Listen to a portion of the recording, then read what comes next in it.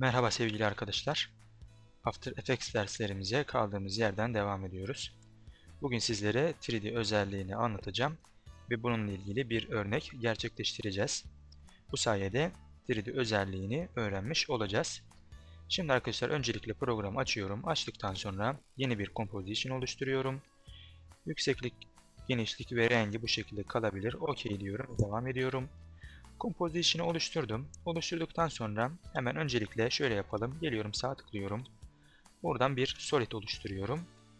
Solid'in genişliği ve yükseklikte Solid'in genişliği ve yüksekliği bu şekilde kalabilir. Rengi de sarı kalsın.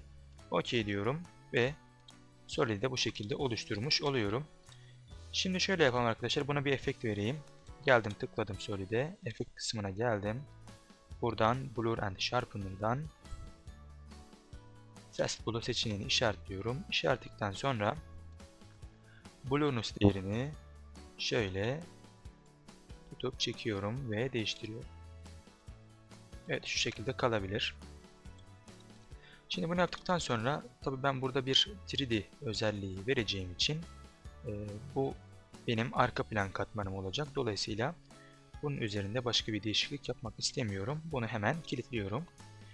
Kilitledikten sonra şimdi şöyle yapalım. Burada bir metin ekleyelim. Ve 3D özelliğini görelim. Text ekliyorum. Şöyle bir şey yazdım. Şunu tutup şöyle ortaya çekiyorum. Evet bu şekilde. Ee, daha sonra bunu çektikten sonra arkadaşlar geliyorum buraya. 3D özelliğini ne yapıyorum?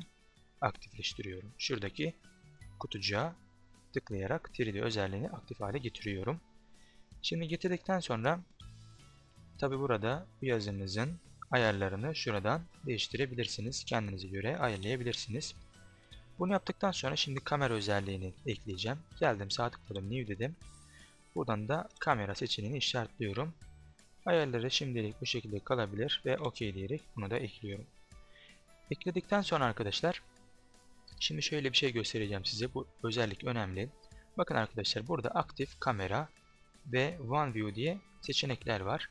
Ben burada One View'e gelip Two Views Horizontal dediğim zaman bana iki görüntü veriyor. Bu şekilde gördüğünüz gibi. Burada mesela bunu Two Views Vertical dediğim zaman da ne yapıyor? Dikey olarak iki görüntüyü bana bu şekilde vermiş oluyor. Şimdi ben burada geliyorum tekrar Two Views Horizontal diyorum. Yan yana olsun. Yan yana olduktan sonra şimdi geldim arkadaşlar bakın. Tab kısmına tıkladım. Tıkladığım zaman şurada turuncu işaretler oluştu.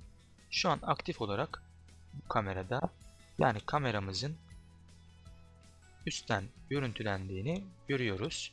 Buraya tıkladığım zaman da aktif kamera seçeneğini görebiliyorum. Evet görüntüyü hemen şöyle getireyim. Şu şekilde evet.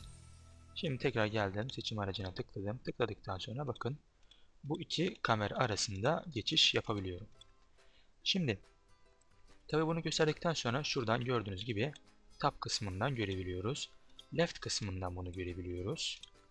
Ve right kısmından yani sağdan da kamerayla yazımızı görebiliyoruz. Şimdi ben bunu tap diyorum. Tap dedikten sonra hemen şöyle örneğimizi yapalım. Bakın arkadaşlar geldim mesela yazı katmanına. Buradan transform bölümüne geliyorum. Ve hemen şurada Y konumu ile ilgili bir değişiklik yapmak istiyorum. Bakın burada normalde bunun anchor point noktası burada. Bunu şu an tabi örnek veriyorum şöyle yaptığım zaman bakın ne oluyor? Sol tarafta şu tarafta bakın üstten de görün üstten de görebiliyoruz nasıl hareket ettiğini.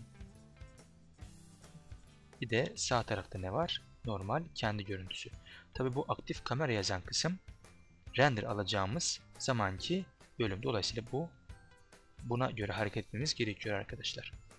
Şimdi tabi burada mesela bunu böyle çektiğim zaman gördüğünüz gibi bu şekilde bir görüntü verebiliyoruz. Ve bu kısımda da ne oluyor?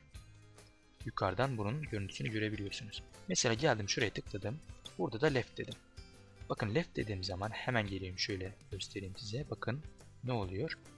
Şu an mesela soldan baktığımız zaman ne oluyor? Çizgi şeklinde görüntüleniyor. Fakat şunu şöyle yaptığım zaman soldan baktığımız zaman biraz daha 45 derecelik bir açıyla yaklaşık olarak döndüğünü anlayabiliyorum. Şimdi bunu tekrar yaptım. Tap dedim. Tap dedikten sonra şöyle yapacağım arkadaşlar. Öncelikle şunu hemen kaldırayım. Şunu da sıfır yapayım. Sıfır yaptıktan sonra öncelikle geliyorum. Şurada pen behind yani anchor point aracımı alıyorum. Şuradaki merkezi noktayı buraya alıyorum. Çünkü buna göre ben döndürme işlemi gerçekleştireceğim. Bunu yaptıktan sonra geliyorum şimdi. Tekrar aktif kamera kısmına tıklıyorum. Buradan Y rotation'ına bir keyframe veriyorum. Verdikten sonra ikinci saniyeye geleyim. Ve burada hemen şunu şöyle döndüreyim. Buradan tutup da döndürebiliyoruz. Diğeri de buraya direkt gidebiliyoruz. Tabi eksi 90 olarak girmemiz lazım. Evet. Bunu şekilde girdim. Sonra geldim. Dördüncü saniye. Burada da eksi 180 diyorum. Ve gördüğünüz gibi 180 derece dönmüş oldu. Daha sonra giriyorum şuraya 6. saniye. Burada da eksi 270 yapıyorum. Sonra geleyim 8. saniyeye. Burada da ne olsun? Eksi 360 diyorum. Dedikten sonra burası ne oluyor tabii ki? 360 derece döndüğü için şurası eksi 1 oluyor. Evet. Bu şekilde yapmış olduk. Hemen şöyle yapalım. Şuraya tıkladıktan sonra şuraya biraz yakınlaştırayım. 25 yapayım. Ve bunu bir çalıştıralım. Gördüğünüz gibi 3D özelliğini kullanarak kendi etrafını döndürme hareketi vermiş oldum. Tabi şuna da dikkat etmek gerekiyor. Bakın arkadaşlar şu tarafa bakalım hemen üstten görüntülendiği kısma. Bunu left yapalım. Evet bakın tekrar gösteriyorum. Şu an mesela ne gördüğünüz gibi bir çizgi halinde. Fakat eksi 90 dereceyi bulduğu zaman ne oluyor? Soldan baktığımız zaman yazının tamamını görebiliyoruz. Bu 180 derece olduğu zaman yine göremiyoruz. Fakat eksi 270 derece olduğu zaman yine bunu soldan görebiliyorum. Bu sefer de düz bir şekilde görebiliyorum. Dolayısıyla farklı açılardan kameranın farklı açılarından bunları görüntüleyebilirsiniz. Tekrar bunu tap yaptım. Şimdi tabi şuradan tekrar geliyorum katmanlar bölümüne. Bunu tekrar çalıştırıyorum.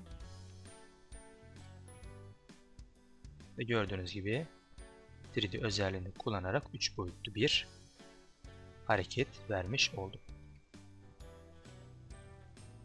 Evet arkadaşlar 3D özelliği After Effects'te bu şekilde. Sizler de buraya resim ekleyerek veya video ekleyerek bunların üstüne yazı ve resim ekleyerek de daha gelişmiş animasyonlar, daha gelişmiş hareketlendirmeler yapabilirsiniz.